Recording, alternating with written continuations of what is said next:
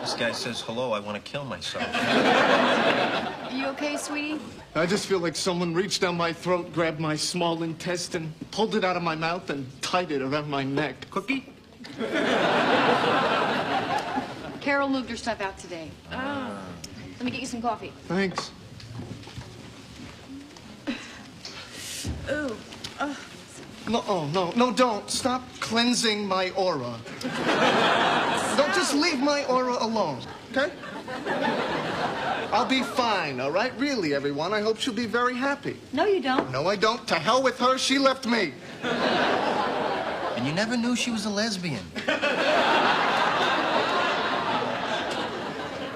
No, okay? Why does everyone keep fixating on that? She didn't know. How should I know? Sometimes I wish I was a lesbian. Did I say that out loud? All right, Ross, look. You're feeling a lot of pain right now. You're angry. You're hurting. Can I tell you what the answer is? Strip joints!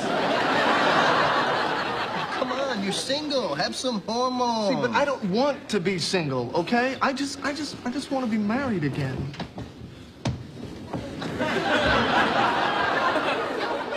And I just want a million dollars.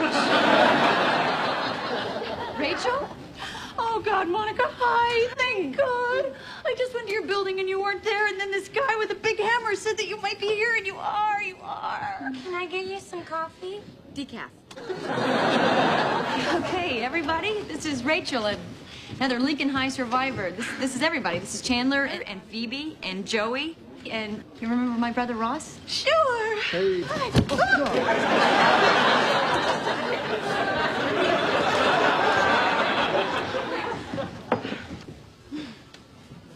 So you want to tell us now, or are we waiting for four wet bridesmaids? Oh, God. Well, it started about a half hour before the wedding. I was in this room where we were keeping all the presents, and I was looking at this gravy boat. This really gorgeous Limoges gravy boat. When all of a sudden, sweet and low, I realized. I realized that I was more turned on by this gravy boat than by Barry. And then I got really freaked out, and that's when it hit me how much Barry looks like Mr. Potato Head. You know, I mean, I always knew he looked familiar, but. Anyway, I just had to get out of there, and I started wondering why am I doing this and who am I doing this for?